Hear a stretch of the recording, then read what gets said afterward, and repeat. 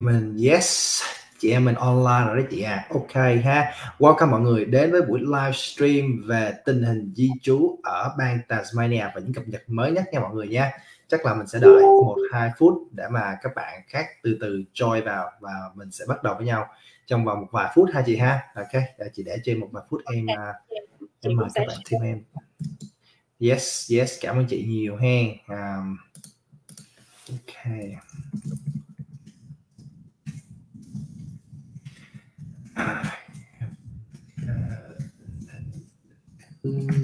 test.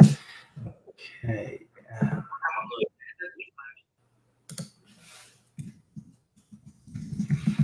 Ok, trong buổi hôm nay thì chắc là mình sẽ xoay vòng một số những cái câu ờ, hỏi, một số những cái vấn đề về cái câu chuyện đó là định cư ở TAS hiện tại là như thế nào rồi và tại sao mà tới giờ này người ta vẫn đang có những cái uh, suy nghĩ rất là rất là à, có thể chưa chính xác về TAS trong khi hiện tại TAS vẫn đang tiếp tục là một trong những à, bang gọi là có cái chính sách định cư khá là cởi mở cũng như là ưu tiên trong người Việt rất là nhiều.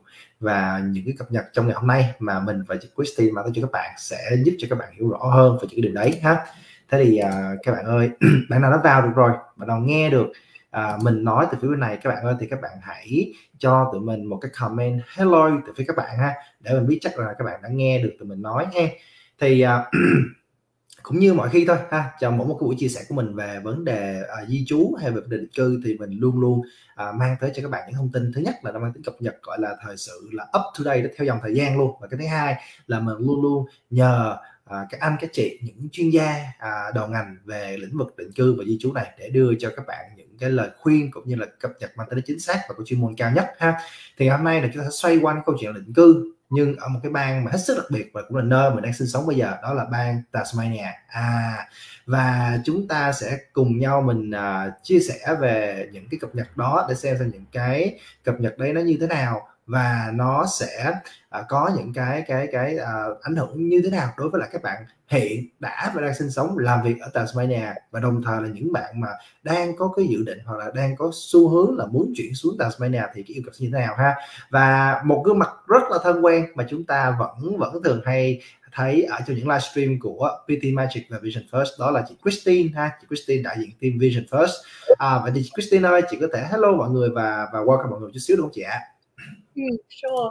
Rồi ừ. xin chào tất cả mọi người ngày hôm nay ha thì um, lý do mà chị uh, mời Peter để mà tham dự cái buổi livestream đột về Tasmania là tại vì ừ. sau khi um, có một cái chính sách mới hình như là họ update vào ngày 23 tây tháng 7 đúng không là khoảng chừng ừ. một hai tuần trước gì đấy thì uh, chị nhận được rất là nhiều inbox của các ừ. bạn chị ơi em đang ở dưới task bây giờ em phải làm sao luật ừ. mới gì mà rồi uh, xanh rồi vàng rồi cam cái gì mà tùm lum hết vậy trường hợp của em yep. sao em có bị ảnh hưởng gì hay không mà các bạn ừ. thì rất nhiều và và và chị không thể nào mà trả lời hết xuể được tại vì mỗi một cái trường hợp á mỗi một cái case như vậy á là một cái background khác ừ. nhau mà để một yep. để trả lời một cái câu hỏi đơn giản của các bạn á là yes hay no để em ừ. em sẽ thuộc vào cái chương trình nào em sẽ thuộc vào chương yes. trình nào chương trình nào hợp ừ. với em hơn thì chị phải ừ. phân tích rất nhiều chị phải spend thời gian rất nhiều để study lại nguyên một cái background của tụi em để mà chị phân tích ừ. được và chọn cho em cái con ừ. đường tốt nhất và không chỉ là phân tích như vậy mà còn về cái mặt hồ sơ nữa mình phải chuẩn bị từ bước một ra làm sao các bạn nhất là các bạn đã xuống Tasmania trong khoảng chừng năm 2020 ừ. 2021 thì mấy cái luật này ừ. cái mấy bạn thấy đầu tiên hay là như thế nào đó không biết là thật sự không vì thấy là phải yêu cầu ba thay vì là hai năm học như hồi trước vân vân vân vân chị nhận được hàng hà sa số những câu hỏi ừ. nên là thôi định là how about là bây giờ mình làm livestream đi mình giải thích hết yes. cho các bạn các bạn ờ, hiểu hết rồi uh, fundamental ừ vấn đề đó rồi á thì chị sẽ ừ. uh, có một cái kiến thức cơ bản thì chị nói thêm nó sẽ dễ hiểu hơn chị phân tích lại như vậy mà mấy chục lần trong vài ngày. Dạ dạ. Vâng vâng thì thực ra là cái lý do mà khiến cho nhiều bạn có sự băn khoăn cũng như là lo lắng à, về cái vấn đề Tasmania bởi vì à, thường thường đó là cũng như hàng năm thôi là vào cái đợt tháng 7 mỗi năm là dưới Tasmania là một trong những bang mà thường thường là có những cái à, cập nhật và cũng như những thay đổi mà mang thứ gọi là mới nhất luôn. Cho nên nếu như mà được á, thì các bạn khi các bạn à, tham gia của hàng hôm nay á, mà các bạn nào đặc biệt là những bạn đang có cái tìm kiếm hoặc là mong muốn tìm hiểu về bang Tasmania thì các bạn có thể comment phía dưới. Hoặc những bạn nào đang sinh sống và làm việc ở Tasmania các bạn có thể để lại cái bình luận để mà đặt câu hỏi và sau đó mình và chị Christine sẽ cố gắng trả lời câu hỏi các bạn nhiều nhất có thể các bạn nha ok. Rồi thế thì bây giờ là chắc là chị sẽ nói chút xíu về cái tình hình là dưới Tasmania đi. Thì uh, à, hiện tại là dưới Tasmania là đang có hai dòng visa mà mình thấy là các bạn du học sinh xuống đây và các bạn đi nhiều nhất đó là dòng visa 190 và visa thứ hai là visa 491 đây là tất nhiên đây không phải là hai visa duy nhất về định cư nhưng đây là hai visa mà phổ biến nhất về định cư đặc biệt ở dưới bang Tasmania này. Và có rất nhiều câu chuyện đó là có những bạn à, mình em được biết là một cặp à, anh chị kia ở từ Việt Nam đi thẳng qua Tasmania và hành trình của họ là từ năm 2017 tới năm 2022 đúng 5 năm là ngày uh, trong tuần rồi là họ đã nhận luôn cả được cái citizenship của mình rồi. À, đó là nhận được cả cái, cái quốc tịch rồi. Và có rất nhiều câu chuyện là các bạn hôm nay cũng một câu chuyện nữa của một bạn tên Kay bạn ở, ở Melbourne sau đó bạn xuống đây bạn học và một năm rưỡi và sau đó bạn chính thức đạt được cái visa 190 cho cái um, hồ sơ của mình. Thì tất nhiên có rất nhiều câu chuyện xoay quanh cái chuyện là có những bạn xuống đây được visa 190 luôn. Và đối với những bạn nào chưa biết thì visa 190 ấy, nó chính là cái visa uh, permanent residency luôn tức là nó là thường trú nhân của mình và visa bên cạnh đó mà có rất là nhiều người mà cũng có nữa đó là visa 491 là một cái dạng visa mà theo kiểu gọi là tạm trú. Mình cho phép chúng ta được sinh sống và làm việc như một người công dân ở đây. Chỉ có điều là mình sẽ phải làm việc trong thời gian là 3 năm với cái mức lương yêu cầu là khoảng 54 000 một năm. Và sau đó mình có thể nộp lên cái visa 191 là dòng visa về à, cũng là định cư theo kiểu thường trú nhân luôn. Thì đây là hai cái visa rất là phổ biến. Vậy thì bây giờ đó mình sẽ cùng nhau mình cùng chị Christy đi về câu hỏi đó là khi mà mình vào cái dòng visa này ok, thì mình, chẳng hạn như mình ở từ Việt Nam đi thẳng qua, thì nó sẽ có những cái ảnh hưởng như thế nào? Ở từ những thành phố lớn như Melbourne và Sydney xuống, thì mình sẽ có những ảnh hưởng như thế nào? Những ngành nghề nào hiện tại bây giờ là các bạn đi học hoặc đi làm là sẽ có ưu thế nhiều nhất? Và để mà được cái visa 190 hay visa 491 thì bắt buộc là chúng ta sẽ phải đáp ứng được những yêu cầu nào từ phía chính phủ. Thì mình và của bạn sẽ cùng nhau mình tìm hiểu ở trong buổi ngày hôm nay ha. Và các bạn ơi, nếu các bạn đã tham gia rồi, các bạn đang theo dõi tụi mình rồi á, ở đây mình thấy gần 100 bạn tham gia rồi, thì nếu các bạn đã tham gia và đang theo dõi, các bạn quan tâm về PR hay quan tâm về bất kỳ ngành, nghề nào nguyên liên học các bạn quan tâm về bất kỳ một cái visa nào, các bạn hãy đặt câu hỏi phía dưới, thì mình và Christian sẽ cùng trả lời cho các bạn tất cả những câu hỏi đấy nha và ở bây giờ đó thì mình chắc là sẽ nhường lại phần uh, chia sẻ cho chị Christine để mong chị là chị có thể hướng dẫn cho các bạn chút xíu ở trong cái buổi chia sẻ ngày hôm nay chị ha ừ. Ừ, ừ ok rồi yeah. Dạ. cảm ơn uh, ha um, ừ. thì uh, thực ra là bên uh, Department of uh, State Pro của Tasmania đã uh, có hai cái buổi webinar um, dành cho các bạn có thể tham gia được thì chị nghĩ là một số bạn ở đây cũng đã xem rồi um, thì chị đang uh, cái buổi livestream ngày hôm nay chị muốn mang một cái uh, thông tin nó gọi là nó cô động và nó uh, gọn gàng để cho các bạn dễ hiểu ha. khi mình nhìn trên website nó rối quá cái mình không biết mình ở đâu hết. Thì bây giờ chị sẽ rất là simplify lại thôi.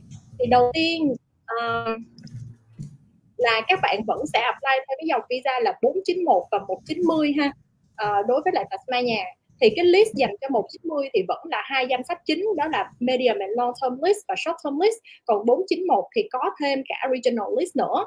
Ha thì vẫn như vậy các bạn vẫn sẽ được thêm điểm thôi test 5 điểm cho 190 và à, uh, 15 điểm cho 491 thì cái điều kiện mà các bạn phải thỏa cho visa nha đây là những cái điều kiện của Department of Home Affairs tức là từ bên phía Bộ Di trú đó. Thì mình sẽ cần phải có thứ nhất là tiếng Anh 6 chấm đều tất cả các kỹ năng thứ hai 50 PTE 50 hoặc là PTE 50 thứ hai á, là mình sẽ cần có một cái skill assessment. Uh, cái này không thể nào mà uh, gọi là không không thể bỏ qua được. Và cuối cùng là một cái point test ít nhất là 65 điểm. Chị thấy có một số bạn hỏi ở đây á, là cái invitation ở bên Tasmania thì thường là bao nhiêu? Thì nó vẫn là quanh 65 nếu mà em thỏa được cái điều kiện của Department of Home Affairs cỡ chừng 65 là em đã eligible rồi. Không cần phải có cái mức điểm cao hơn nha um, thì cái này là cái cũ thôi. Thì bây giờ có một số cái update. Um, hiện tại có một số bạn đã nộp nomination từ năm tài chính trước rồi. Năm gì đó hay là tháng 6 gì đó mà bây giờ vẫn chưa có uh, sorry tháng tư trở về trước ừ. chứ mà bây giờ vẫn chưa có kết quả thì không biết là hồ sơ của mình có fail hay không.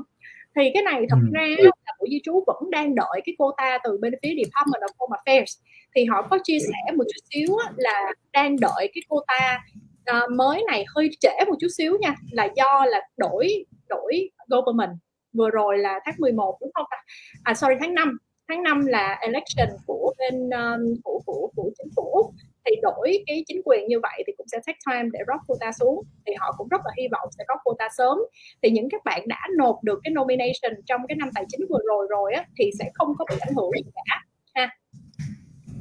Thì đây chị sẽ nói về một số cái uh, thay đổi uh, của của tiểu bang.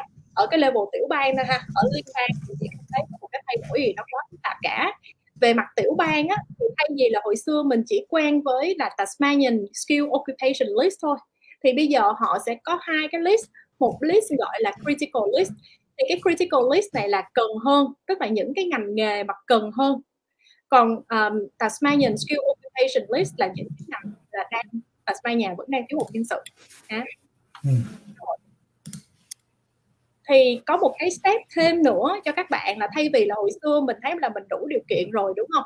Thì mình sẽ nộp luôn thẳng cái uh, nomination. Nhưng mà bây giờ thì họ sẽ cho mình thêm một cái bước nữa. Thì cái này um, cũng tương tự như là một số bang khác đang áp dụng đơn cử như là bên phía Victoria. Thì mình phải đăng ký một cái registration of interest có thể nói tắt là ROL uh, à, ROI ừ. và các bạn khác với lại bên Victoria thì Tasmania lại cho các bạn một cái tín hiệu luôn. Là ok bây giờ cái hồ sơ của mình mạnh hay là yếu nè nếu mà nó xếp theo thứ tự nè là vàng trước xong rồi tới xanh xong rồi orange là là cam ha. Thì nếu mà vàng thì cái cơ hội được nomination rất là lớn còn green á, thì cái nomination nó sẽ uh, nó cũng khá là cao và trong cái thời gian ngắn còn orange vẫn có cơ hội được mời nha. Nhưng mà cái thời gian chờ có thể là là lâu hơn.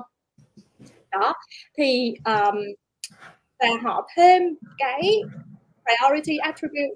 Priority attribute ở đây á, tức là những cái điều kiện để mà ưu tiên cái hồ sơ của mình hơn thôi. Bạn phải nhớ một cái điều rất là quan trọng á, là cái điều kiện cơ bản nó hoàn toàn khác với điều kiện ưu tiên nha. Cái này là bắt buộc mình phải thỏa minimum requirement. Thì mình bắt buộc phải thỏa thì mình mới được quyền apply còn cái priority á mình có cũng được không có cũng không sao. Nhưng mà mình mà ừ. có được cái cái cái màu vàng á thì cái được ưu tiên nhiều hơn. Màu xanh thì ưu tiên ít hơn và màu cam thì uh, ưu tiên ít hơn chút xíu nữa ha. Ừ. nhưng mà cái priority này á nó sẽ được thay đổi theo thời gian. Tức là ý chị nói ở đây tức là nó uh, các bạn nếu mà có update trong hồ sơ của mình á có có thể là trong cái hồ sơ của mình từ cam lên uh, lên xanh là hoàn toàn có thể. Hoặc là ví dụ như các uh, trong mỗi một cái attribute như vậy á, thì nó sẽ có rất là nhiều những cái khác nhau. Thì ví dụ như uh, ví dụ như trong uh, trong cái cái pathway gọi là graduate pathway đi nó có khoảng tầm 14 năm thì nó không làm có 14 cái attribute một cam. Thì ví dụ như bạn mà lấy được chừng năm cái attribute một cam đó thì cái hồ sơ của bạn cũng sẽ được rất là competitive. Ha? Thì tức là uh, các bạn càng cố gắng um, để mà làm nhiều thứ để show cái commitment cho Tasmania thì các bạn sẽ dễ lấy được cái cái cái cái cái nomination từ phía tiểu bang hơn. Thì bây giờ nó giống như là uh, cái cổng ROI này á mặc dù là thêm một nhưng mà chị nghĩ nó lại là một cái rất là tốt để cho các bạn có thể predict được cái hồ sơ của mình so với lúc trước. Lúc trước mình chỉ nộp vô thôi đúng không? Mình đâu có biết đâu. Thì có khi nhận cái review rồi mình không hiểu là tại sao mình bị refuse hết nhưng mà ở đây thì họ rất là rõ ràng về cái vấn đề đó. Có khó khăn hơn cả. Rồi cái thay đổi thứ ba là họ thêm cái cái cái cái, cái uh, resident pathway. Thì họ nói là mình chỉ cần là sinh sống ở bên nhà 3 năm hoặc là 2 năm 3 năm để cho 190 và 2 năm cho 491 thì tôi nghĩ cái này lại rất là tốt. Những bạn nào mà vừa qua mà trong uh, đại dịch vừa rồi đó thì mấy bạn thường là ừ. sẽ so đúng không? Và sẽ ở úc thôi ừ. không có vấn đề gì đâu. Yeah. bạn lại ừ. lại thỏa cái điều kiện này rất là dễ dàng. Ừ. đâu có vấn đề gì đâu. Nghĩa là các bạn nhìn đang thấy nó phức tạp quá. Nó phức tạp nha. Cái requirement đang nhìn nó phức tạp nhưng nó không quá khó. Nó không quá khó. Cái, cái thông điệp chính mà chị muốn mang đến cho các bạn ở đây. Ừ. rồi thì bây giờ đi sâu vô từng cái nè. Thì bây giờ nó có tổng cộng là năm cái um, năm cái pathway khác nhau um, ừ. vẫn là đi học thứ hai vẫn ừ. là làm ha thứ ba ừ. bây giờ sao mất một cái slide rồi nhỉ để chị xem nó nằm đâu yep.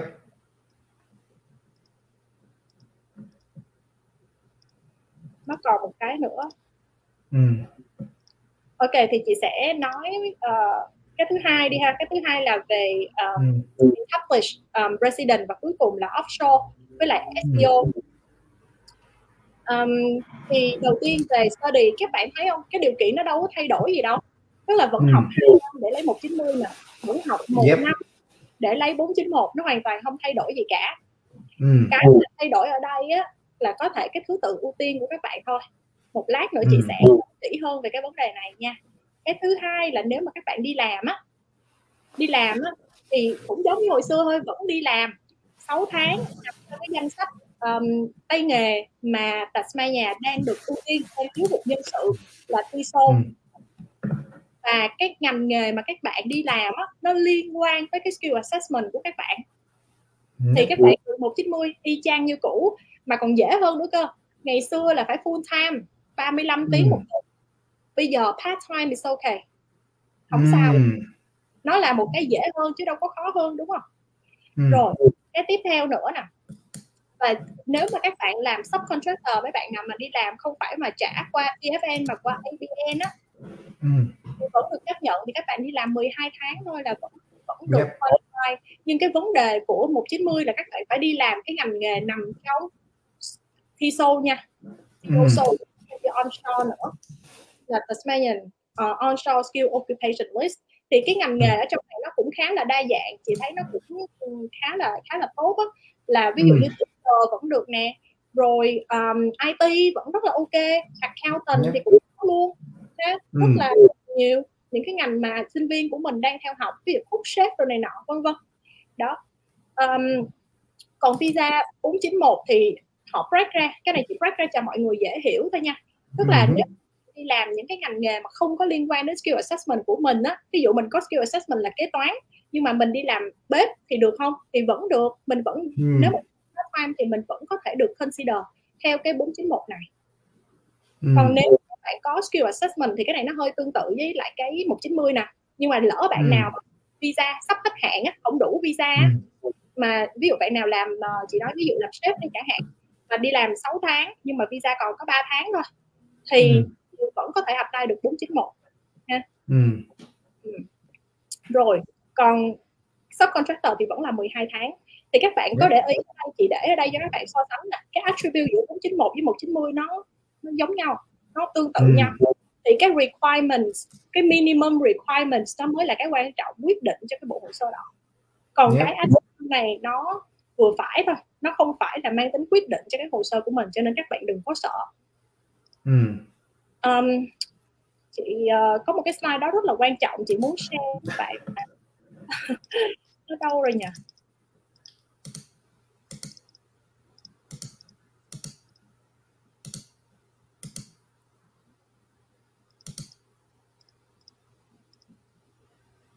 cái này nó nói về là established pathway established ừ. resident ha thì established ừ. resident á thì đối với lại 190 á thì sẽ ừ. là 3 năm các bạn ở Tasmania 3 năm và các yep. bạn cần phải đi ở bên Tasmania ít nhất là 3 năm à, sorry ừ. là từ 10 tháng cho đến 24 tháng tùy cái structure yes. của bạn ừ. nha các bạn ở đó không là được ừ. nha nhưng mà cái requirements về công việc đó, nó rất là đơn giản tức là requirements về công việc bạn không cần liên quan đến skill assessment của bạn. Ví dụ các bạn là có uh, có chồng của mình đi học đi ví dụ vậy. Các bạn thì đi làm các bạn đi làm là làm về ngành bếp chẳng hạn. Các bạn làm cook thì vẫn là nằm trong TESOL đúng không?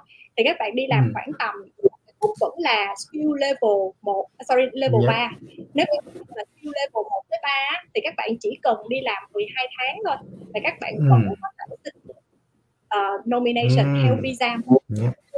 rất là good. Nó có nhiều cái alternative hơn cho uh, những bạn đang sinh sống và làm việc tại Tasmania. Chị thấy good mà. Mm cái thứ hai là 491 chẳng hạn. Cái 491 á, thì um, mình chỉ cần ở Tasmania ít nhất là 2 năm thôi. Thì trong đó cái ừ. điều kiện đi làm của mình đó là từ 6 tháng cho đến 12 tháng tùy cái skill level của mình. Thì uh, cái skill level ừ. 1 tới 3 thì sẽ cần phải đi làm ít hơn là 16 tháng thôi còn nếu mà mình skill ừ. level là từ 4 năm á, thì mình sẽ cần là là là là um, 12 tháng thì yeah. nói cho các bạn dễ hơn á, 1 đến 3 là skill đối với lại Tasmania là skill còn 4 năm á, là lower skill nhưng mà chị thấy ừ. đa số các bạn sinh viên Việt Nam của mình á, hay đi làm ở cái level 1 tới 3 nhiều hơn ừ. thì là làm, làm hospitality đồ này nọ đó nó vẫn là một tới ba ừ. accountant là một tới ba phúc vẫn là, ừ. là là level ba nha skill level 3 nha chừng nào ừ. mà waiter waitress nè hay là um, hay là um, uh, ví dụ như là làm um, um, receptionist á, làm tiếp tân á, thì mới là level lower skill hoặc là yeah. làm farmer, farmer này nọ diary farmer ừ. rồi này nọ mới là level 3 thôi sorry level 4 năm thôi cho nên là cái trường hợp 4 năm thì nó cũng biết xảy ra yeah. ừ. Uh, và có một uh, cái thay đổi nữa đó là chương trình SBO dành cho những yes. cái bạn kinh doanh ở bên Tasmania uh, ừ. và lập doanh nghiệp sau ngày 15 tháng 4 năm 2022 ừ. các bạn sẽ um, các bạn sẽ cần phải kinh doanh 12 tháng thay vì là 6 ừ. tháng ừ. chỉ có thể nộp 491 thôi ừ. 491 vẫn như cũ thì SBO Tasmania hồi xưa giờ là cũng là maximum là 491 491 ừ. ok thì um, ok rồi và cái một cái chị thấy khá là uh, khá là ổn nữa là mở ừ. thêm cơ hội cho những bạn đang ở Việt Nam những cái hồ sơ về offshore thì ừ. đối với những hồ sơ offshore này là nó phân thành hai stream ha có hai cái ừ. một là nếu mà mình có nhận được một cái uh, job offer mà liên quan đến cái skill assessment của mình ừ. thì ở Việt Nam chị thấy mấy bạn hay làm được uh, skill assessment làm accountant hay là làm bếp rồi lắm đúng không nó cũng ừ. tương đối là dễ thì các bạn yeah. Dạ. nếu mà các cái doanh nghiệp nào mà ở bên Tasmania mà chịu cho bạn một cái job offer thôi nha là các bạn đã có ừ. thể lấy một sáu rồi job oh. offer là lấy được gold đó tức là yeah. Dạ. luôn nhận được nomination ha. Đó. Ừ. những cái ngành nghề nó đa dạng lắm. Nó nằm trong cả ba list của chính phủ luôn là 520 mấy ngành nghề đó. Là ừ. medium list rồi short term hay là ừ. regional list rồi này nọ là vô tư luôn ha. Ngành nào cũng được. Cũng là có job offer là qua qua ngành. Ừ. và một cái nữa thì là nó gọi là invited pathway. Um, thì mình sẽ đối với lại riêng cái offshore mà invited á thì mình chưa có vội làm cái registration of interest mà mình phải ừ. làm cái expression of interest trước đối với Tasmania ừ. và mình đứng đứng trong cái queue để mà mình chờ được thời thôi nghĩa là cái này nó mang tính chất là 50 50 nếu như mà ừ. họ họ nói là họ đang lên một cái gọi là cái cái cái cái cái cái bức tranh về những cái người skill worker mà Tasmania ừ. để là mọi người có thể tưởng tượng được và mọi người có thể apply thì chị đoán ừ. nó vẫn là sẽ nằm trong những cái ngành nghề nó gọi là thuộc dạng critical skill đó là yeah. những ngành nghề liên quan tới sức khỏe nè hoặc là ừ. những cái nhóm nghề liên quan tới um, gọi là infrastructure tức là cơ sở hạ tầng cơ sở hạ tầng nó nhiều cái liên quan lắm ví dụ như là architect là kiến trúc sư vẫn liên quan đến cơ sở hạ tầng của Tasmania rồi kỹ sư ừ. xây dựng rồi những cái người gọi là uh, draft person á của kỹ sư xây dựng để hỗ trợ vẽ đó ừ. um, thì vẫn là được nằm trong cái cái danh sách um, đó rồi surveyor ừ. xây vân vân thì những bạn này chị đoán á, là vì uh, offshore thì nó khá là cạnh tranh tại vì nhiều hồ sơ mà thì họ sẽ yêu cầu những cái người mà có tiếng Anh tốt nè hay là có um, hay là có um, cái profile mà đi làm cũng tương đối là lâu nè đó ừ. những cái như vậy hoặc là họ đi làm được ừ. có khả năng là họ đi làm được lương cao ở bên này nè ví dụ như vị trí ừ. manager example construction manager ừ. example chỉ đoán như vậy ừ. nhưng mà mình mình cứ chờ thêm đi để họ nói về ừ. cái yep. ừ. rồi cái này để chị để lên có thể là các bạn không có thấy quá rõ đâu yep. các bạn so sánh, ừ. so sánh nhìn thấy không giống nhau mà cái này là 491 yep skill một chín mươi của skill employment nè. Ừ. ừ. hoặc là vẫn là green thì vẫn là bốn cái như nhau hết. Chỉ có khác một cái chút xíu thôi là do là một chín mươi thì phải yêu cầu cái ngành nghề nằm trong TISO thì phải là nằm trong TISO uh, còn orange nhìn cũng giống nhau như trơn mà. Rồi kể cả bên bên um, bên um, uh, graduate pathway cũng vậy nữa. Thì nó cũng vẫn ừ. giống nhau và cả bên resident established resident ừ. nó vẫn rất là giống nhau thì ý ừ. chị muốn nói với các bạn ở đây là gì thì um, cái minimum requirements đối với lại tiểu bang á nó quan trọng hơn là những cái attribute này thì các bạn phải ừ. làm cái việc ví dụ như là đi học và có một cái công việc ở bên Tasmania là cái ừ. khi bạn cần phải làm còn những cái này là để add on vô thêm cho cái hồ sơ của mình nó mạnh hơn ừ. nó ừ. à, thì đừng có nhìn cái bảng này rồi lo lắng có bạn hỏi chị là chị ơi vậy bây giờ em phải thỏa hết mấy cái điều kiện này em mới được apply hả không phải ừ. các bạn chỉ cần vài cái thôi một cái cũng được nữa một cái trong mỗi cái này cũng được nữa. mà ừ. các bạn mà có một có nguyên tắc có một cái nguyên tắc như thế này nữa nha ví dụ như các bạn đã được xanh rồi á ví dụ như các bạn thỏa là ba cái cam với lại một cái xanh thì các bạn vẫn được ranking là xanh ừ. ví dụ các bạn mà có một cái vàng thì các bạn vẫn được ranking là kiểu kiểu như vậy nếu các ừ. bạn mà được nhiều cái orange hơn á thì các bạn sẽ được gọi là ưu tiên hơn so với những các bạn ít orange hơn thì ừ. cái nhìn kỹ chị nghĩ là đối với lại cái, um, cái graduate thì chắc là sẽ nhiều bạn quan tâm ha um, yeah. yeah thì làm cách nào để mà mình có thể tăng cái sức cạnh tranh hồ sơ của mình được thì có một cái ừ. điểm rất là ổn hồi xưa mình hay nói là phải tăng cái cái cái um, uh, gọi là commitment với ban bằng cách là đi làm volunteer rồi này nọ có ừ. đúng không các bạn nói vậy nhưng mà cái đó ừ. bây giờ là một cái điểm cộng trong hồ sơ thôi chứ nó không phải là một cái gì đó để mà tăng cái tính commitment tăng commitment ừ. các bạn nhìn vô đây nè các bạn phải nhìn vô cái ừ. orange ừ. thì ví dụ bạn cần phải đi làm một cái ngành nghề nào đó không cần phải liên quan đến assessment các bạn vẫn được là orange này thì các bạn không có vấn đề đâu. Rồi cái này cũng rất là quan trọng nè. Chỉ cần proficient hoặc là uh, superior English thôi các bạn cũng yep. có một cái orange rồi. Thì bây yeah. giờ mình PTE 65 PTE uh, chính cặp thầy tò thôi đúng không? Là mình giải quyết yeah, vấn đề. Mm. đó. Đó hoặc là ví dụ như mình có dependent ở bên Tasmania mà cái này chị thấy rất là phổ biến ví dụ như chồng đi học xong uh, sorry vợ đi học xong rồi chồng kinh doanh thấy không có chồng kinh doanh được từng 6 tháng kinh doanh whatever thì mình vẫn ừ. có thể lấy được cái 491 của ban lấy được một cái attribute ừ. màu cam rồi là mình đã lấy được cái màu cam yeah. à, đó và có chị anh chị em close family member mà sinh sống ở bên Tasmania mình đã cũng có một cái màu cam rồi ví dụ bạn nào ừ. mà từ bên Việt Nam qua bên úc đi ha mà ừ. uh, uh, học accountant chị nói ví dụ đi mà có yeah. anh em mình đã định cư trước đây rồi thì mình đã cầm trong tay được cái cam rồi mình cứ an tâm là ừ. mình đã cầm trong tay được cái màu cam này rồi rồi yeah. sau đó mình ráng thêm cái English nữa đúng không ừ.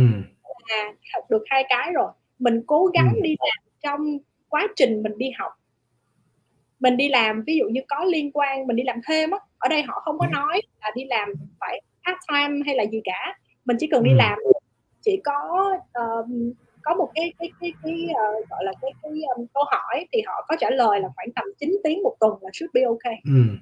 Yep. Cái công việc mà part time của các bạn 9 tuần 9 tiếng một tuần thì làm có ừ. hai ngày mỗi ngày nửa buổi hoặc là làm một ngày ừ. không thì cố gắng mà đi làm cái đó rồi các bạn ừ. làm cái job interview ví dụ như là các ừ. bạn đã vừa học xong đi hoặc là trong quá trình các bạn đi học đi thì các bạn phải nộp ừ. đơn để mà xin việc thì những cái đó nó vẫn là một cái rất là good để show cái effort của các bạn để sinh sống yeah. ở Tasmania lâu dài đúng không? Thì ừ. thấy những cái làm rõ thêm những gì họ đang cần thôi chứ nó không ừ. phải là gì hơn cả. Cho nên là các cứ yên tâm. Uh, Tasmania một bang khá là mở so với những cái bang khác ha. Ừ. và cái chính sách của họ khá là rõ ràng. Mình nhìn vô là mình cứ follow mình không có bị sợ còn cái này thì sơ qua về Tasmania cái này là SBO nè. Thì ví dụ ừ. như về SBO mà các bạn invest over 200 ngàn các bạn được xanh mất tiêu rồi. Thì ví dụ như một bạn nhà hàng mua lại một cái nhà hàng hay là xây mới một cái nhà hàng nữa là minimum là phải là 20 ngàn rồi đúng không? Ừ. đó thì là các bạn đã được màu xanh rồi. Chỉ cần một cái attribute là các bạn được màu xanh là các bạn được invite trong tích tắc luôn. Ừ. vài tuần là các bạn đã có thể được invite rồi yeah. yeah. cho nên là SPO Tasmania bây giờ nó dài hơn thôi chứ nó không có gì khó hơn xưa hết hồi, ừ. hồi xưa là các bạn còn phải là newly established đúng không các bạn phải tự mở mới được mua nó còn này đâu có bắt buộc đâu phải thực cái nhưng Tasmania ít nhất là 12 tháng các bạn cũng có thể yeah. công việc ừ. đó ở phía dưới là chị thấy không không cần thiết đối với lại đối với lại bên um, uh, SBO ừ. còn đây yeah. là cho mấy bạn thấy thôi ha về về có job ừ. offer với lại có ừ. uh, invitation từ bên phía bang á là ừ. mình là mình có một cái goal quyết định là nomination rất nhanh và rất chính xác ừ. Ừ.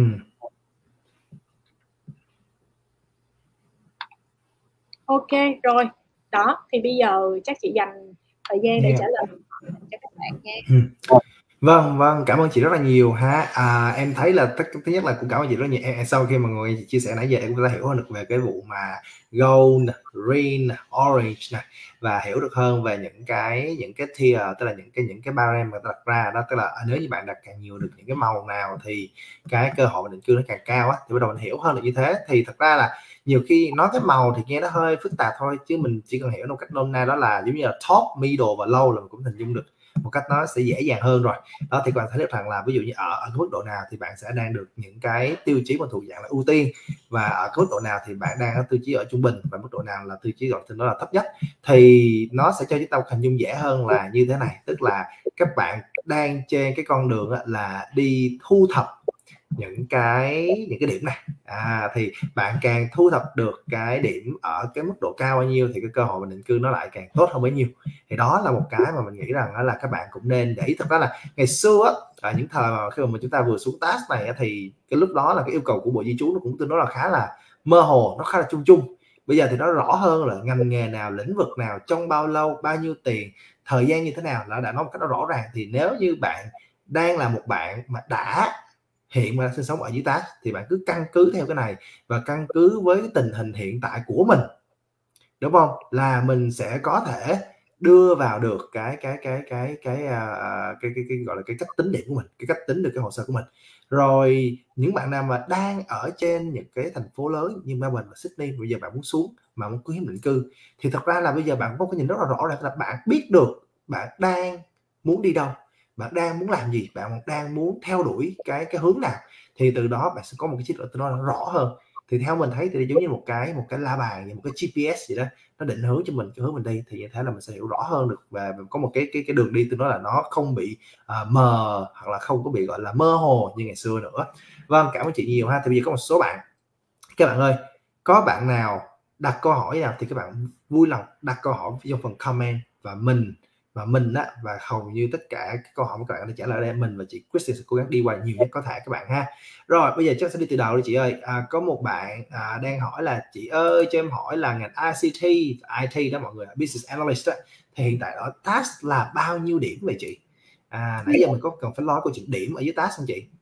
Ừ um, thì quick question ha thì đối với lại ừ. Tasmania thì cái điểm phôi test á, chưa bao giờ là cái vấn đề cả mình chỉ cần thỏa cái điều kiện về điểm cơ ừ. bản thôi của bộ di trú là 65 điểm trên phôi test là ok rồi ha ừ.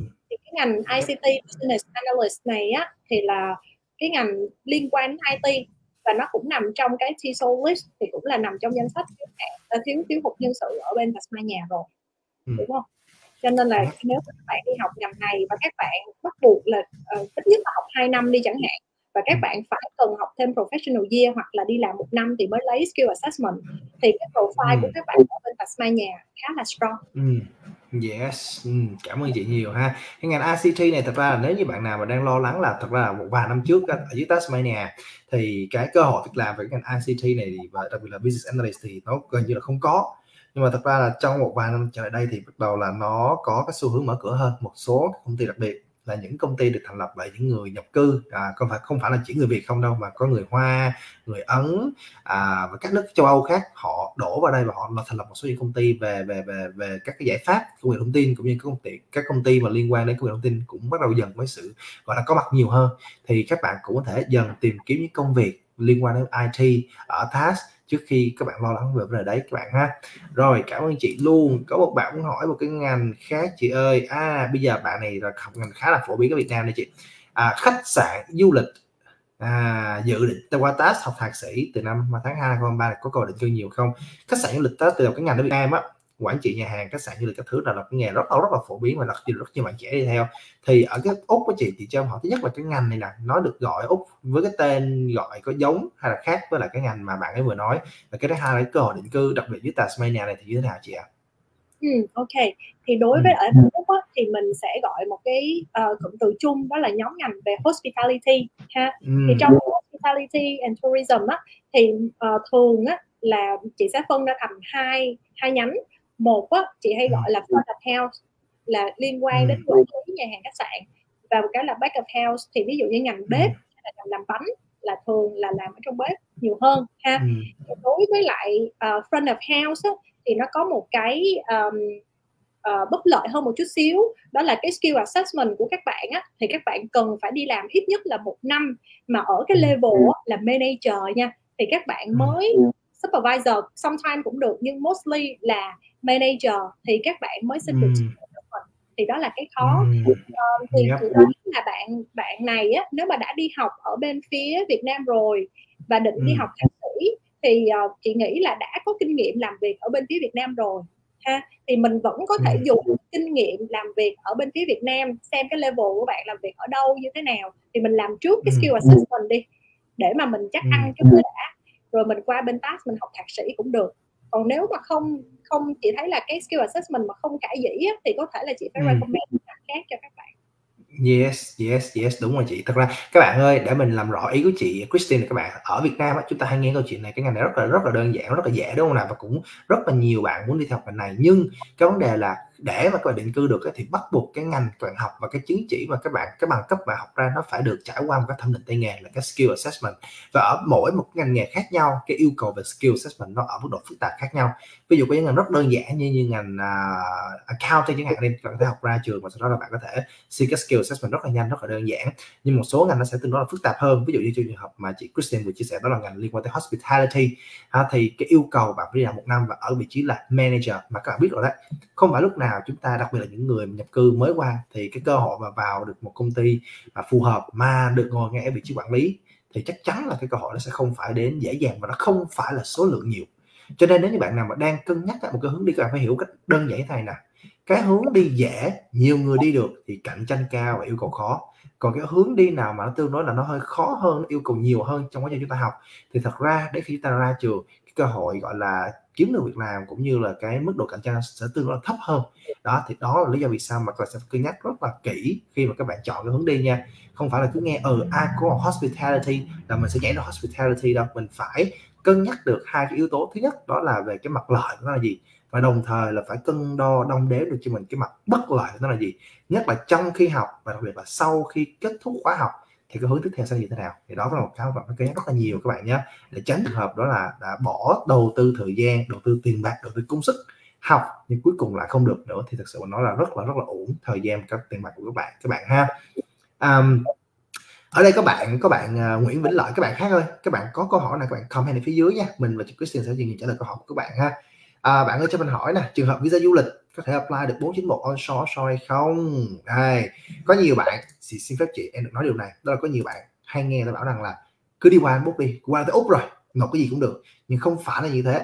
Đúng là qua tới úc được rồi bạn sẽ có cơ hội được xin nhiều loại visa hơn và có thể là yêu cầu khi bạn xin hoặc là cái cơ hội bạn xin thành công á, nó cao hơn. Đúng bởi vì bạn xét hồ sơ onshore tuy nhiên không phải là cứ qua đến úc rồi thì bạn có thể trực tiếp là nộp ngay vào trong cái hồ sơ định cư được. Thì tất nhiên bạn phải hiểu được rằng là chúng ta phải có những cái tính chất hoặc là những đáp ứng những yêu cầu người ta đề ra mà đúng không? Vậy thì Christine ơi chị có thể trả lời câu hỏi cho các bạn là đi từ visa du lịch qua có thể chuyển sang visa 190 hay 491 không chị ạ? Ừ, ok. Thì để mà ừ. apply được 491 hoặc là 190 á thì không quan trọng là trước đây bạn cầm visa gì nha. Mà quan trọng ừ. là bạn thỏa được điều kiện của 491 hay là 190 hay không? Nha hai cái việc ừ. đó khác nhau. Thì điều kiện để nộp được 190 hoặc là 491 là gì? Chỉ có bốn cái rất đơn giản. Thứ nhất là PTI của bạn phải ít nhất nha là PTI 50 ừ. hoặc là IELTS 6 chấm. Hai là bạn phải có một cái thẩm định tay nghề nằm trong danh sách tay nghề của úc và của tiểu bang. Thứ ba là cái ừ. thang điểm trú của các bạn á là phải cần là 65 điểm trở lên. Và cuối cùng ừ. cần phải được ban bảo lãnh nha. Thì uh, tùy thuộc là bạn có thỏa được điều kiện trên hay không trả lời được. Còn cái visa đó là hoàn toàn không có phải là quan trọng. Nhưng mà link tới bên cạnh nhà đó thì nếu mà các bạn đang um, onshore mà bằng visa du lịch đó thì các bạn ừ. có thể tận dụng một cái lợi thế. Chỉ nói giả sử như các bạn đã thỏa được ba điều kiện là tiếng Anh rồi thẩm định tay nghề với lại um, phôi test là thang điểm về di trú đi nha thì các bạn qua bên úc rồi mà các bạn tìm được một cái công việc nào đó mà xin được job offer thì các bạn cứ xin cái job offer rồi bạn có thể về nước để nộp offshore thì cái đó cũng có thể là một cách nhưng mà cái cái con đường mà nó um, phổ biến hơn thì thường là con đường đi học ờ, hoặc là đi làm ở bên Tasmania để lấy được 491 hoặc là 190 nha. Hmm. Ok, yes, vâng cảm ơn chị nhiều ha. Đó thì các bạn ơi, cái câu trả lời này cũng giúp cho các bạn clear được một vấn đề là không phải cứ đi qua Úc được là xin được hồ sơ rồi nha. Đúng là để xin được hồ sơ đi qua nước ngoài đã yêu cầu rất là nhiều những cái tính chất rồi, nhưng để xin được visa 190 và 491 bắt buộc bạn sẽ phải đáp ứng được những yêu cầu mà bạn đặt ra nhé. Thì lúc đó bạn có thể là tự tin và xin hồ sơ được ok? Được chưa nào? Rồi rồi cảm ơn chị nhiều ha. Um, để xem xem có ngành nào lạ lạ khó khó nữa không? Đây có một câu hỏi về ngành uh, early childhood. Đây ngành early childhood học onshore tại úc thì sao ạ? Đây là ngành mà em thấy là cũng có rất nhiều bạn đặc biệt là những bạn trẻ. À, bây giờ đang có xu hướng chuyển về ngành này nhiều thì không biết là chị có thể nói rõ hơn cho mọi người nghe ngành early childhood này ở bên phía Tasmania cũng như là cái cơ hội định cư của ngành này đối với lại các bạn ở dưới Tasmania được không chị ạ? À? Ừ, ok. Ừ. Thì early childhood teacher vẫn là một cái uh, ừ. ngành nằm trong TESOL nha, vẫn nằm ừ. trong cái danh sách um, um, ngành nghề mà ban cần đó. Cho nên là chị ừ. thấy cũng khá cũng khá là ổn đối với ngành nghề này ha. Tuy nhiên các bạn cũng phải nên cân nhắc là mình uh, đang học là về level nào? Tức là yep. đối với early childhood á, thì mình sẽ phân ra thành hai level. Một á, là higher education tức là học từ bachelor hoặc là master level. Thì cái chuyện mà xin assessment thẩm định tay nghề với lại cái việc mà nộp 491 hoặc là 190 á, nó khá là uh, thoải mái. Nhưng mà nếu mà các bạn chỉ học tới level là diploma thì các bạn hơi cẩn thận chút xíu. Tại vì nếu mà diploma thì mình sẽ xin cái skill assessment khác chứ không phải là early childhood teacher. Nó gọi là educator. Ha? Ừ. thì cái skill yeah. sẽ hơi thấp hơn một chút xíu. Cho nên là mình phải xem xét lại. Vì nếu mà chị nhớ không lầm thì ngành educator nó không nằm trong cái danh sách TESOL đó.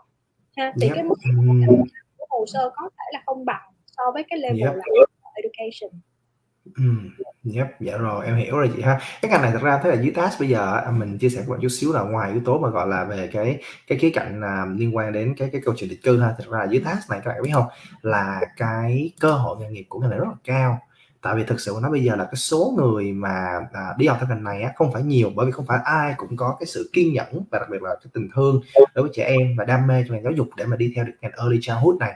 Và bên cạnh đó đó là trong quá trình học cái ngành này á, thật ra không phải là một quá trình quá, quá đơn giản. Khi bạn học liên quan tới early childhood bạn sẽ làm rất nhiều những cái bài tập mà liên quan đến cái phần viết là nhiều nè. Rồi bên cạnh đó khi bạn học early childhood bạn còn phải làm thực tập nữa. Và thực tập đỏ rất là nhiều thời gian và công sức của bạn đấy và khi ra trường á, đối với những bạn học nhanh học ngắn thì đôi khi bạn còn phải thi IELTS nữa. Cho nên đó là cái ngành này á, mặc dù là cơ hội định cư tốt là cơ hội việc làm cực kỳ cực kỳ tốt luôn nhưng mà cái quá trình học và cái yêu cầu đầu ra sẽ tương đối là sẽ hơi à, thử thách một chút xíu. Cho nên á, nếu như các bạn muốn có một cái à, kết thúc có hậu cho cái hành trình định cư của mình á thì chắc chắn là đôi khi là à, mình chọn cho bản thân một con đường nó tương đối là hơi gian nan một chút hơi gập ghềnh một chút nhưng dẫn tới được cái cái cái cái cái trái ngọt thì đôi khi nó vẫn là một cái kết quả rất là xứng đáng. Vì vậy nếu như bạn đang nghiên cứu về ngành early childhood này thực sự mà nói và bạn có đam mê với ngành này á thì mình nghĩ là bạn nên cân nhắc cách nghiêm túc và đi theo vì cái ngành này thực sự nó rất là rất là tốt luôn. Ha em ha. Rồi à, mình nói nhiều các ngành học rồi bây giờ mình sẽ nói một cái mà nãy chị có nói, đó là SBO SBO thì thực ra là giống như chị chia sẻ hồi nãy, em thấy những năm trước là hầu như là họ khuyến khích những bạn mới về mỗi doanh nghiệp. Nhưng mà cái yêu cầu nó chỉ nói là bây giờ là invested, tức là mình được đầu tư khoảng 200 nghìn. Thì cái điều này là cho phép chúng ta có thể là được chọn nhiều cái loại hình mô hình kinh doanh khác nhau và từ đó nó tạo nên cái sự gọi là khá là thuận lợi cũng như là là có nó có cái tính flexibility các bạn linh hoạt trong cái yếu tố mà gọi là xin định cư. Và thì đây có một câu hỏi của bạn đặng hương bạn hỏi rằng là chị ơi cho em hỏi nếu em xuống task um, em đã tốt nghiệp Master of Accounting rồi và em có bằng Certificate for cho chuyển đổi từ làm chef nè em hiện muốn làm skill assessment theo cái cert 4 của cookery vì nó liên quan tới business mà em mở nhà hàng thì có được không? Vì em không học cookery mà chỉ chuyển đổi từ kinh nghiệm sang mà thôi à, câu hỏi khá là chi tiết chị ạ ừ. ừ. thì em muốn làm skill assessment cookery ừ. ok yep. thì để cho chị uh, quay lại cái slide về SEO những cái attribute ha Ừ. thì uh, nói về minimum requirements của uh, của của SEO trước đi thì họ sẽ yêu cầu ừ. hai điều kiện rất cơ bản thôi đó là thứ nhất yeah. các bạn phải um, kinh doanh tại Tasmania ít nhất là 12 tháng. Điều kiện thứ yeah. hai bạn phải chứng minh được cái income mà mình có thể uh, ừ. generate được từ cái business đó. Họ dùng từ là 85 phần trăm của 53.900 nó sẽ tương đương với tầm 45 46 ngàn mình chứng minh có thể đút túi được ừ. khoảng tầm bao nhiêu đó thì là ok rồi. Yes. Ừ. đó các bạn bắt buộc phải thỏa nha. Không có yep. làm còn đối với ừ. cái việc các bạn để nhanh được mời á thì các bạn có một cái attribute này chị nghĩ rất là dễ cho các bạn sinh viên ừ. Việt Nam đó là mở nhà hàng đúng không mình sẽ chắc chắn ừ. là invest được khoảng tầm 200 ngàn vô cái business đó ừ. mình mua máy móc thiết bị máy nướng rồi hầm dầu rồi tất cả các thứ hay là mình mua lại một cái doanh nghiệp hay là mình uh, đóng tiền bom cho một cái nhà hàng như vậy á, thì nó vẫn ừ. Vẫn nằm miễn sao trong cái trong cái um, balance sheet của mình mình có thể chứng minh ừ. được bỏ tiền vào và 200 ngàn ừ. là ok thì bạn được print pass yep. và được mời rất nhanh ừ. cái SEO mà đặng hương mà muốn đi theo hướng này á, chị thấy hoàn toàn có thể và tại vì sao tại vì họ đâu có bắt buộc là cái skill assessment lại như thế nào đâu skill assessment có thể uh, khác mình có thể dùng lại cái skill assessment accountant cho cho nhanh cũng được ha? Còn nếu Mockery thì nó sẽ là một cái add-on vào hồ sơ. Nhưng chị nghĩ ừ. uh, quan trọng nhất vẫn là nên focus vào cái investment này thì nó sẽ là hay nhất. Ừ. yep. Ok. Và nãy chị nói là bây giờ mình có thể mua là một cái doanh nghiệp mà đã đã hoạt động đã kinh doanh rồi phải không chị ạ? À? đúng rồi em. Ừm, OK, ừm. OK, thế thì bây giờ em nghĩ rằng cái hướng này bây giờ em nghĩ là sẽ mở ra cái nhiều hướng tại vì thực sự đối với nhiều bạn là để mà xây dựng một cái business thì không phải lúc nào cũng là một cái đơn giản, tại vì chúng ta sẽ phải build rất là nhiều thứ, build từ cái branding, cái name của mình nè, cái tên của mình, cái thương hiệu của mình nè, khách hàng nè, rồi khi chọn được một cái chỗ phù hợp, chọn được một cái brand phù hợp, chọn được một cái cái cái cái nơi mà có cái vùng khách mà tôi nói là nó phù hợp với cái cái công việc của mình đó, đôi khi sẽ rất là khó. Vì vậy mà nếu như mà có cơ hội mà có thể, gọi là, sang nhượng lại một cái doanh nghiệp mà họ hiện hữu, họ đang làm việc rồi và họ có nhu cầu họ muốn được sang nhượng thì đôi khi nó sẽ là một con đường đi nhanh hơn, ngắn hơn, tiết kiệm được nhiều thời gian hơn chúng ta. Tuy là cái giá có thể hơi cao một chút so với chúng ta tự làm, nhưng mà thực sự mà nói nó sẽ tiết kiệm được rất là nhiều thứ, đặc biệt là trong cái con đường định cư thì bạn biết rồi đấy, mỗi một năm mà, đúng không? Cứ tới tháng 7 là nó lại có những thập đợt cập nhật những cái thay đổi. Vậy thì có phải là nếu như bạn có được một cái sự chuẩn bị và bạn tiết kiệm thời gian hơn thì nó sẽ dẫn đến cái việc là cái cơ hội thành công của mình cao hơn cho cái việc xin visa các bạn nhé. Ok, rồi chắc là sẽ giải quyết thêm một hai câu hỏi cuối nè. Um, À, ta, ta, ta, ta, ta. Đây có một dạng học sinh em nghĩ là một dạng rất là phổ biến ở, ở bên Úc mình luôn. Đây là bạn An Phú Nguyễn. Bạn hỏi là anh chị cho em hỏi là em có nên đi sang Úc làm việc theo diện 462 rồi mới nộp visa 491 90 không ạ? À? Vì em nghe nói sang Úc làm việc không đúng ngành theo SA thì khó xin được SA. Em assume rằng SA là skill assessment. À ok thì không biết là chị chia sẻ được không chị ạ? À? Ừ. Họ làm việc không đúng ngành thì khó xin được yeah tay luôn hả hay là xin được 491 ta em nghĩ là 190 491 quá chị ờ ok thì ừ. nếu như mà làm việc không đúng ngành á thì thật ra ở bên Tasmania họ có cái stream là đi làm không đúng ngành mà tức là 491 ừ. mà employment yep. á thì họ đâu có yêu cầu là mình phải có skill assessment à, mình phải đi làm cùng với ngành cùng ngành với lại cái skill assessment của mình đâu cho nên là cái cơ hội ừ. là có miễn sao là các bạn thỏa được điều kiện của visa Ừm. Ừm. OK, dạ rồi, cảm ơn chị nhiều ha. Thì thật ra là em nghĩ là đối với dòng à, đối với cái bạn số 462 là thường thường là các bạn ạ, cái 462 á, cần phải hiểu nó là một cái cơ hội và nó là một cái, gọi là, cái cái, ờm, à, tấm vé để bạn có thể bước qua Úc và trải nghiệm nó, à, với cái chi phí thấp nhất và cái yêu cầu gần như là đơn giản nhất. Đúng rồi, các bạn so sánh đi, giữa tất cả các dòng mình không nói đến visa du lịch nha, nhưng mà trong tất cả các dòng visa từ visa training cho đến visa đi du học cho đến visa đi lao động, tất cả các dòng visa đều tương đối là khó khăn nó sẽ tốn nhiều công sức nhiều thời gian cũng như là chi phí.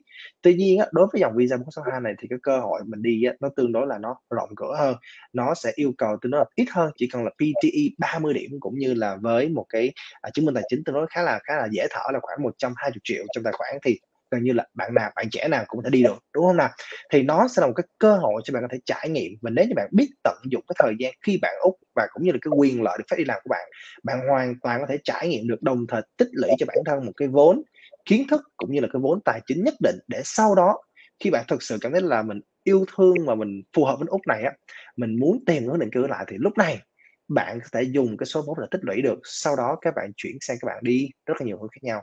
Bạn có thể đi du học bạn có thể chuyển sang đi làm nếu như bạn may mắn kiếm công việc hoặc là bạn kiếm được một cái người chủ nào offer bạn người ta bảo lãnh bạn ở lại thì thật ra tất cả những cái đó là những cái hướng bạn có thể chuyển sau khi bạn đã trên visa 462 các bạn nhé. Còn khi ở trên visa 462 đó có câu chuyện mà bạn bạn An Phương đang hỏi là mình đi sang úc mình không làm việc đúng ngành có được skill assessment hay không được skill assessment nó còn phụ thuộc rất là nhiều. Và cái thứ hai cần phải nhớ là trong visa 462 á, bạn sẽ không thể làm liên tục trong một chủ quá 6 tháng được cho nên á, vì vậy là cái việc mà tìm được công việc đúng ngành đã khó rồi mà phải làm việc với người ta trong thời gian đủ lâu đôi khi thường thường là người ta yêu cầu làm từ một năm trở lên đi thì bạn nghĩ rằng là với cái visa 462 bạn làm được hay không? Cái khả năng rất cao sẽ là khó.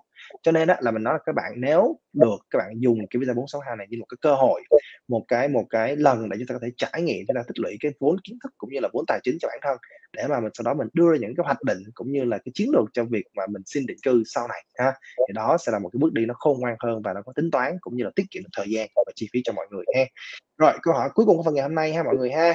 À, đây sẽ là câu hỏi liên quan tới một ngành mà em nghĩ là rất là rất là phổ biến nhưng câu hỏi nó hơi tricky một chút. Đó là chị ơi cho em hỏi em học diploma enroll nurse thì có câu hỏi lại không? Bởi vì khi chúng ta nghe đến nurse ai cũng nghe câu chuyện là register nurse và đối với bạn không biết register nurse và enroll nurse khác nhau ở cái bậc học thôi một cái là bậc cử nhân register nurse và một cái là bậc ở cái bậc gọi là bậc cao đẳng là diploma đó sẽ là enroll nurse cái cơ hội định cư của hai ngành này như thế nào hả chị chị có thể nói cho bạn John có thể biết không chị ạ?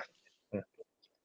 Ừ. ok thì đối với lại ngành nursing á thì à, sẽ có hai level ha một là register nurse ừ. thì các bạn phải học là bachelor còn nếu mà enroll nurse thì các bạn sẽ học ở bậc cao đẳng thôi là diploma thì uh, diploma thì thường là sẽ học 2 năm sometimes thì sẽ có những cái khóa học uh, một năm rưỡi ha nhưng mà đa số thì sẽ là. 2 năm thì sau khi mà các bạn học xong 2 năm á, thì chị đoán là với cái cơ hội mà làm việc trong cái nhóm ngành này á, nó khá là tốt ở bên Tasmania chị assume là bạn hỏi ở bên Tasmania nha thì uh, ừ. thì cái cơ hội định cư theo nhóm ngành này chị thấy là nó vẫn rất là tốt bên cạnh cái ừ. register nurse tuy nhiên có một ừ. cái như thế này nữa là diploma of nursing ở bên Tasmania chỉ có pass test dạy thôi và cái ừ. quota dành cho cái nhóm ngành này nó cũng tương đối là ừ.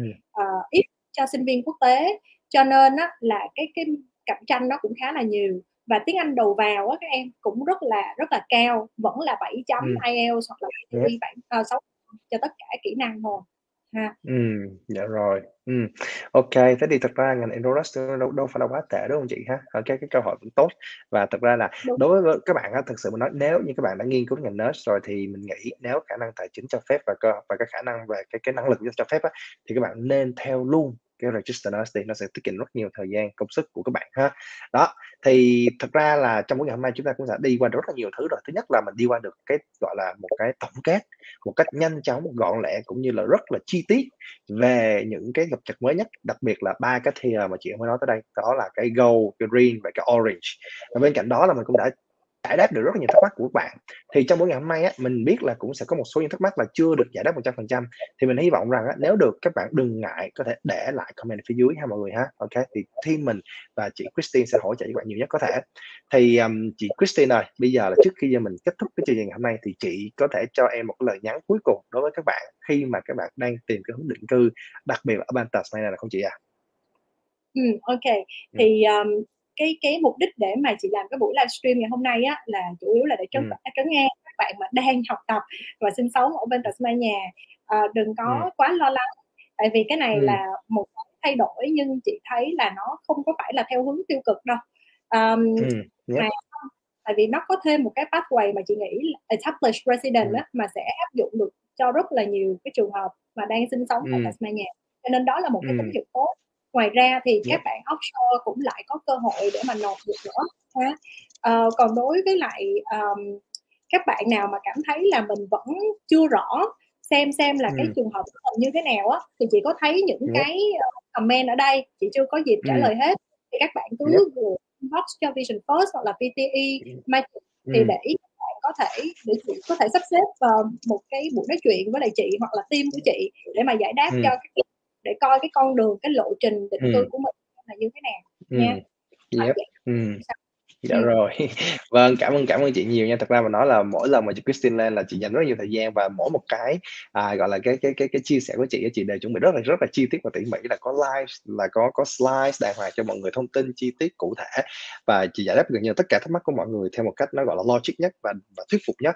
Thì em cũng cảm ơn chị Christine rất là nhiều ha. Thay mặt cho tất cả các bạn đang theo dõi chương trình ngày hôm nay của cả team Vision First và team Magic thì mình cũng, à, gửi lời cảm ơn đến chị Christine cũng như là toàn thể team Vision First và hy vọng rằng trong lần sắp tới á, là em và chị sẽ có những dịp chia sẻ nhiều hơn cho các bạn về những cái thông tin cập nhật, đặc biệt là ở những bang khác mà không chỉ là ở bang Tasmania mà thôi. Và các bạn ơi, team Vision First và team Magic, đây không phải là video và và livestream đầu tiên mà tụi mình làm. Nếu như các bạn có quan tâm về những, à, tình hình ở bang khác, ví dụ như là Victoria là New South Wales là Queensland là các bạn có thể vào YouTube của PT Magic hoặc là các bạn có thể vào trang của Vision First để các bạn có thể coi lại những video và những livestream trước nha, nơi mà Justin và anh anh Long đã chia sẻ rất là nhiều về cái tình hình định cư ở những bang khác nữa. Và từ đó các bạn có thể đúc kết được những kinh nghiệm mà phù hợp cho bản thân. Và đừng quên là mình cũng hay nhắc nhở các bạn là để các bạn có một cái hướng đi phù hợp cũng như là các bạn đạt được cái mục tiêu đề ra thì luôn luôn tìm và cố gắng có được cái sự hướng dẫn từ những chuyên gia trong ngành như chị Christine đây, thì lúc đó là các bạn sẽ có thể tiết kiệm được nhiều thời gian hơn và cái hướng đi của bạn sẽ chính xác hơn. Những câu chuyện mà bạn nghe thấy á, là người ta đi 2 năm người ta có 190, người ta đi 5 năm người ta quốc tịch, người ta đi một năm rưỡi người ta vào được PR. Thì tất cả những câu chuyện này các bạn tưởng tượng họ may mắn không? Không phải, họ không hề may mắn, mà họ có một cái chiến lược và một cái hoạch định rất là rõ ràng và cụ thể ngay từ lúc đầu. Và họ tạo ra cái may mắn riêng cho bản thân họ. Thì đấy là cái mình cũng khuyên các bạn, nếu các bạn cũng muốn đạt được những gì mà người ta đạt được thì bạn cũng phải làm theo những gì mà người ta đã làm. Thì từ đó mình mới có thể đi tới cái đích đến của mình trong thời ngắn nhất trước khi cái việc định cư nó lại có những thay đổi và cập nhật mới nhất nha mọi người nha. OK. Rồi, em cảm ơn chị Chris rất là nhiều ha. Cảm ơn mọi người. Hẹn gặp tất cả mọi người trong dịp gần nhất ha. OK, bye bye Chris rất là mọi người. Bye, cảm ơn Peter.